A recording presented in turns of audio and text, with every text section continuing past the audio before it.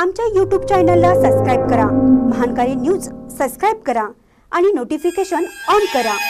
Notification on केल्यामुळे आमचे update आपल्यापर्यंत सतत पोहोचेल. विकासात्मक कामे करून शिरोचा चेहरा मोहरा बदलण्याची गरज. नव्या राजकर्त्यांपुढे शिरोळ नगर परिषदेत मोठे आवाहन. शिरोळ नगर परिषदेच्या निवडणुकीमध्ये राष्ट्रवादी काँग्रेस व स्वाभिमानीच्या आघाडीने बहुमताने सत्ता काबीज करून भाजपला आव्हान दिले आहे. परंतु येत्या काही वर्षात नगराध्यक्ष व नगरसेवकांना विकासात्मक कामे करून नागरिकांच्या मूलभूत गरजा पूर्ण करून शिरोळचा चेहरामोरा बदलण्याचं मोठं आव्हान पेलावे लागणार आहे. राज्याच्या सत्तेतील भाजपा सरकारकडून विकास निधी खेचून आणण्यास मोठी ताकद लावणे अनिवार्य ठरणार आहे. निवडणुकीत दिलेला जाहीरनामा आणि वचननामा पूर्ण करावा लागणार आहे. याचबरोबर प्रामुख्याने शिरोळ शहरातील दुर्लक्षित रस्ते डांबरीकरण करणे मुख्य रस्त्यावरील अतिक्रमण काढणे पिण्याचं शुद्ध आणि मुबलक पाणीपुरवठा करणे आरोग्य विषयक सुविधा देणे या विषयांची कामे करताना खरा कस लागणार आहे.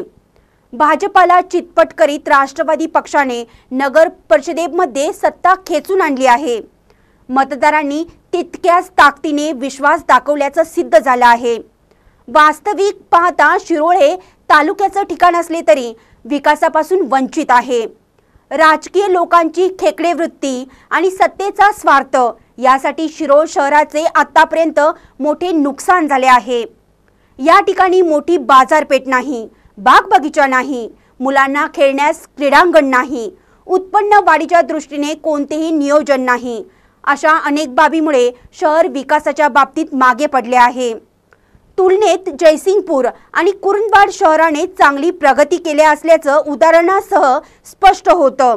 त्यामुळे शेजारच्या दोन शहराच्या तुलनेत शिरोळ शहराचा विकास करणे महत्त्वाचे ठरणार आहे. मोठ्या विकास कामाबरोबरच मूलभूत नागरी सुविधा पुरवण्यातही नव्या सत्ताधाऱ्यांना कसब दाखवावी लागणार आहे. कारण सध्याची परिस्थिती ही राम भरोसे असल्याने नागरी प्रश्नांकडे लक्ष देणे गरजेचे आहे. शहरातील अनेक प्रभागामध्ये रस्ते गटारी नाहीत. काही ठिकाणी दिवाबत्ती नाही.